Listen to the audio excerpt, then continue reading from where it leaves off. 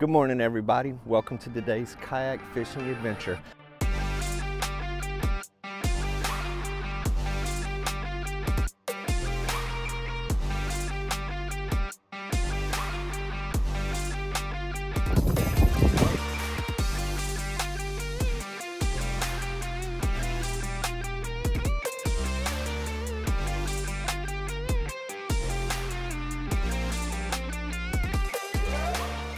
We got some fog out here on the flats this morning. It's a little limited visibility, but it's still safe to cross. We can still see. Got my Tarpon 160, one of the best kayaks for traveling the ultra shallow flats. We're gonna explore. We got really low tide today, so we're gonna be almost dragging the bottom. Should be some great conditions to see some fish, so we appreciate you guys stopping in today. We're gonna go ahead on and launch. We're gonna paddle into this fog and see what we get into this morning.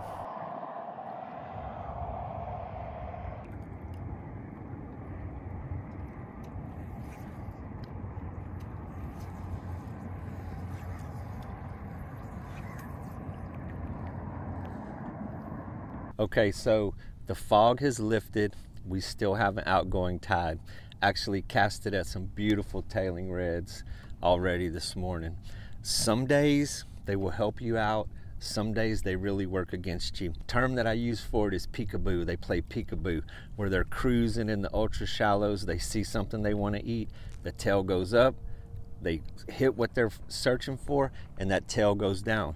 So you see that, you see that action, you pursue it, but when you get there, that fish has moved on, or it's just laid up and its senses are totally aware. So we've ran over some fish, we've kicked them up.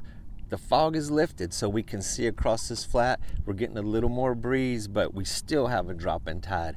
Beautiful conditions for today. Here we are, the middle of December, out here in short pants.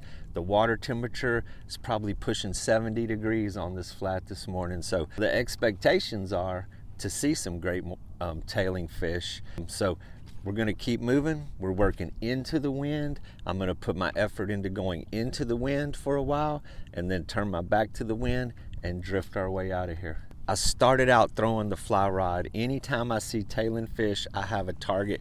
I love to put the fly in there with them. But you're limited to that cast, you're limited to that distance.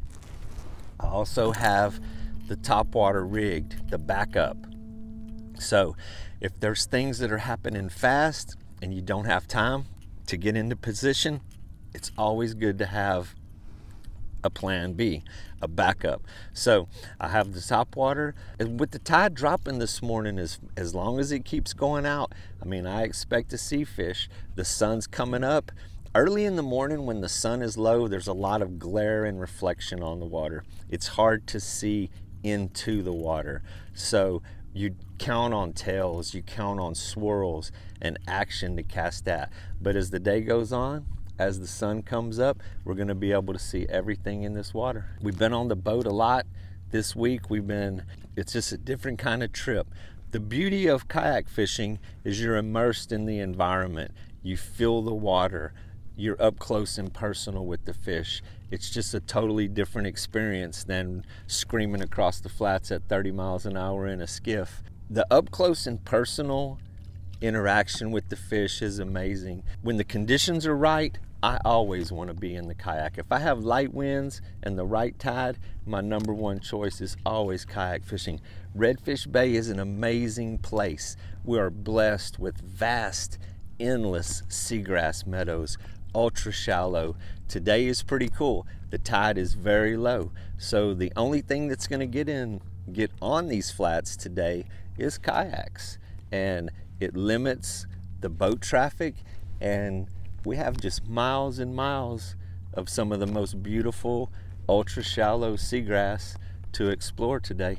The water that we're paddling in today, the water that we're exploring is shin deep, maybe one foot and in some places where you hit little sand holes, maybe 18 inches or so. So um, perfect conditions for sight casting. A big fish, the fish of our dreams, cruising on these flats, you can pick them off at a pretty good distance. Make your approach, get into position, make a nice cast, and get that fish of your dreams. Okay, started out this morning with zero wind, a lot of fog, We had some tailing reds. We saw a lot of fish, just couldn't get them to bite this morning. We made a move. We went out to the drop off. So the tide dropped off this flat pretty dramatically where it was to like six inches or one foot of water in the area that we were fishing in. We moved out to the drop off because those fish will get pulled to the edge. They will pull the bait out and the big fish will follow them. So went out there, made a few casts. You really expect them to be stacked up along the edges, but that just wasn't the case this morning. We caught one small trout on the fly and just turned into exploratory mode. We made a move. We paddled about a mile from where we were originally. And the plan was to go upwind, and then we're going to have the wind behind us all the way back to the launch. So as we came across um, the flats, we were seeing some fish, but it's always very difficult to cast into the wind. Fishing into the wind is tough. So we made the distance, we took a turn, found some nice sand holes, and we started kicking up some mud stirs no tailing fish, kind of partly cloudy today, very difficult to see into the water with clouds and with wind and if the fish aren't tailing. So we started keying in on mud stirs and wakes. Actually got us into some really nice action.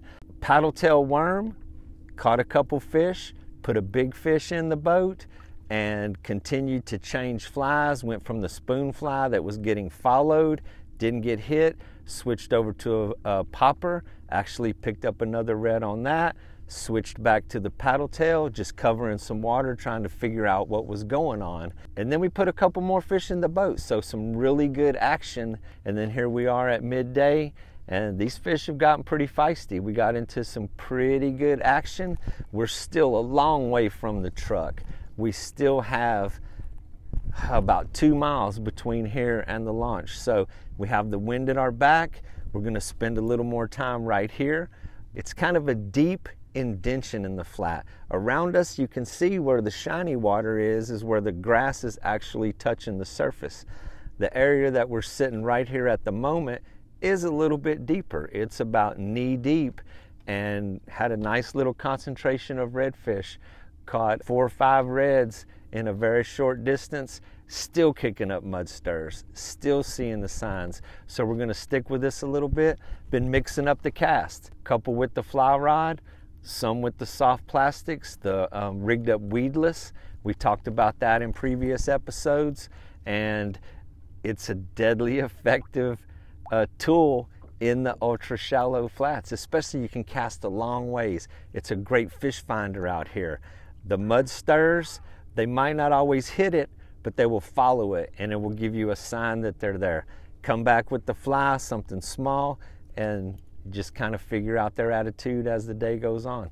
But we're going to keep fishing, we're going to keep moving, we're going to spend a little more time here, but we have a great trip between here and the truck. Another sign that you can look for on these flats that will give away bait fish and areas that you want to slow it down and spend a little time. We had a lot of white white egrets, wading birds that were walking through the grass and they were being very patient. You could see them looking into the water and picking up bait fish.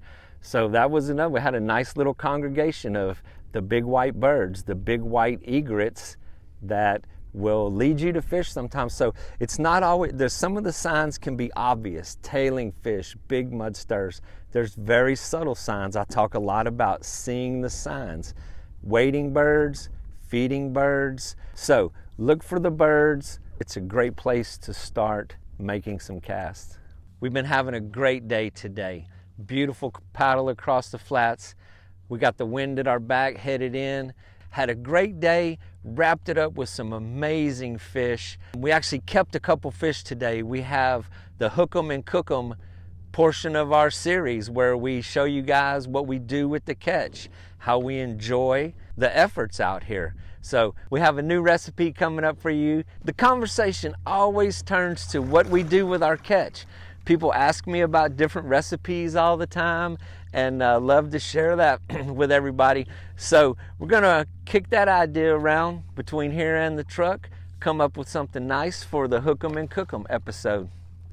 And as always, it's a pleasure having you guys along for an adventure out here on the water. Really enjoy sharing what we love, what we experience. Hit the like button, subscribe to the channel. We're going to keep these shows coming, teaching along the way, and we look forward to seeing you on the next episode.